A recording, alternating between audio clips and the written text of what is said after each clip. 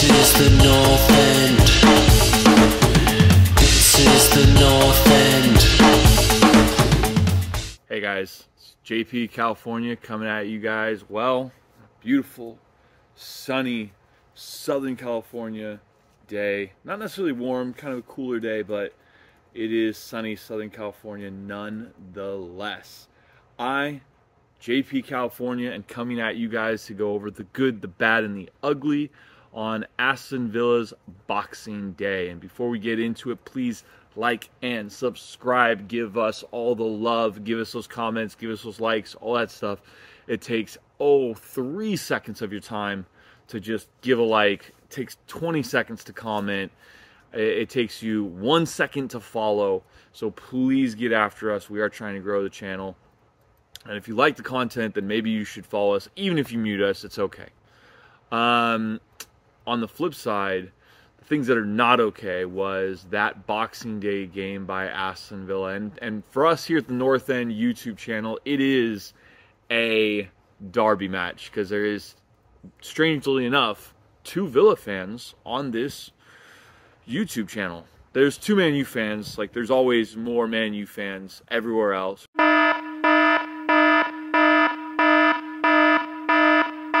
And tell all the Man United fans they are absolute shit. They're absolute shit. Can't wait for Villa to play Man U at home. But there's always more United fans who have crap to say. There's always more Chelsea fans. There's always more Tottenham fans and and Arsenal fans and Liverpool fans. But there's not there's not two Villa fans usually. Um, and so to have two on this channel is special. So it was the Derby day for us.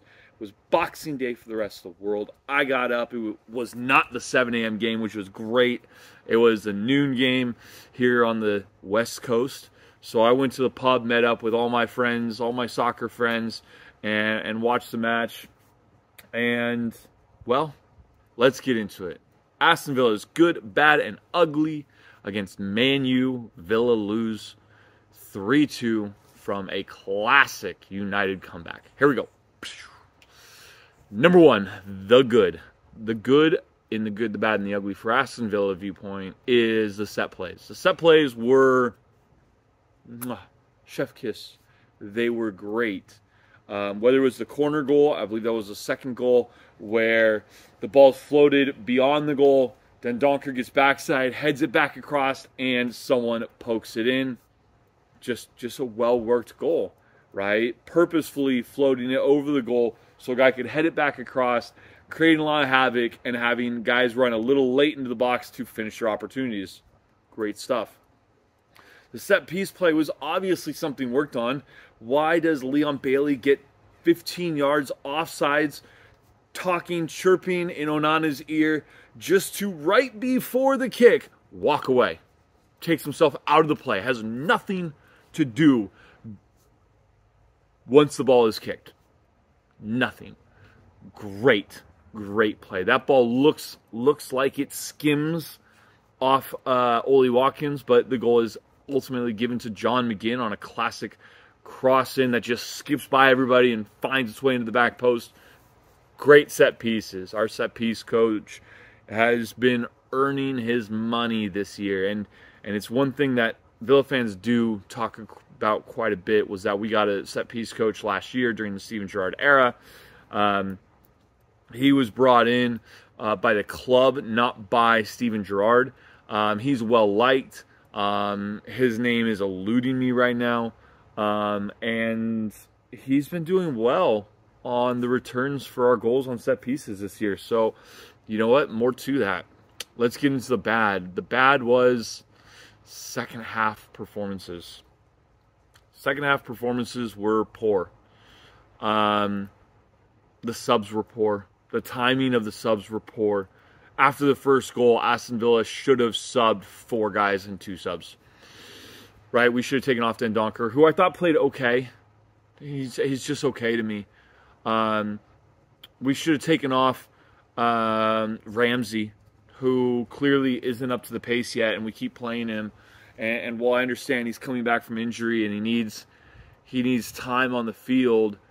Maybe when you're winning 2-1 at United, your your moment should not be to give him time. Maybe it should be to get the three points. Um, taking him off and putting on Diaby, putting uh, Leon Bailey as as an outside mid instead of a forward, probably would have gone and done a lot of help for us.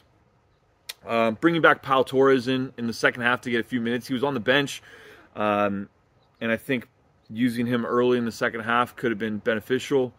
Um, bringing in a player like Tim Iroegbunam, I don't mind it.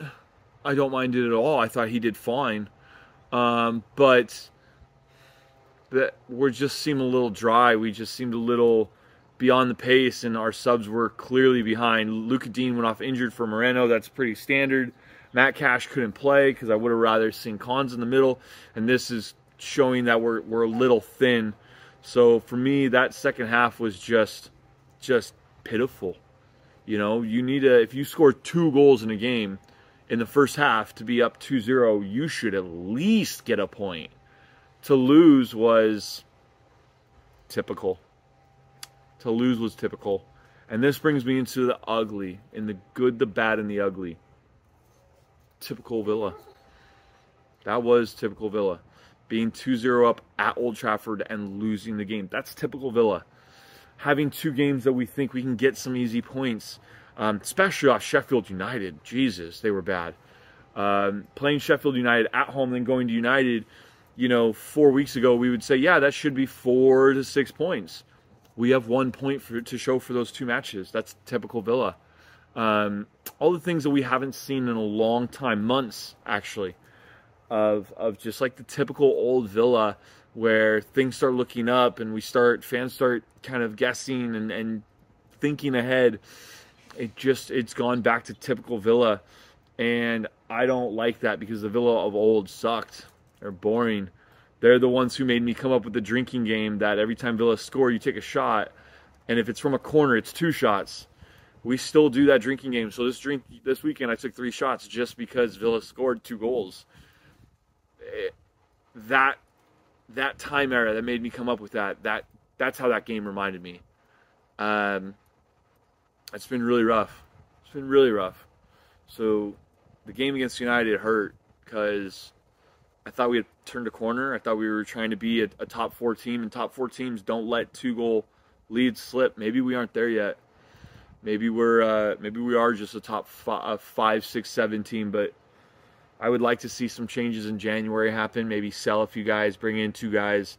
Um, I'm not doom and gloom. I don't think the manager's crap. I don't. I don't think there needs to be wholesale changes, but there do need to be a, be a few changes for that because I just felt like we we missed a golden opportunity there to really cement our top three status and we blew it, and and not just yesterday, but over two games. So, guys, JP California, a little down, little somber. I'm not super unhappy because Man U is always a hard place to go at Old Trafford, but like this Man U is especially not great. So to not get points is rough. To not get points in the last two matches is rough. Um, and if we don't get points against Burnley at home, I will be a little worried. Uh, this is JP California. Thank you guys for watching. Please like and subscribe. Hope I added to your commute to work or whatever it is that you do while you watch this. Um, but guys, happy holidays, Merry Christmas, Happy New Year that's coming. See all you guys again soon. Peace. This is the North End. This is the North End.